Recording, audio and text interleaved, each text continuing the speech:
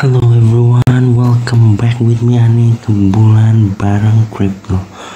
Well, well, well, look at this chart pattern. Today in Monday, I want to discuss about DLT. It's very, very nice and beautiful chart. DLT is pump right now.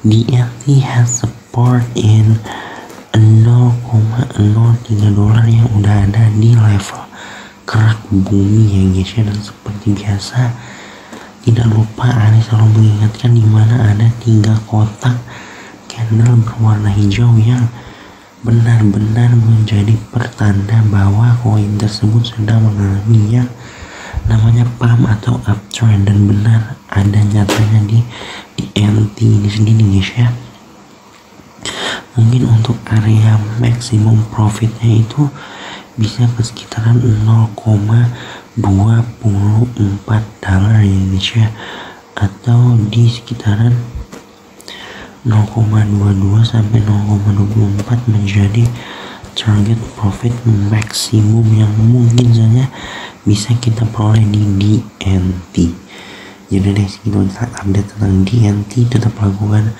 analisa pribadi yang menjadikan ini bahan patokan. Disclaimer on. Thanks for watching. Salam nyangkut terus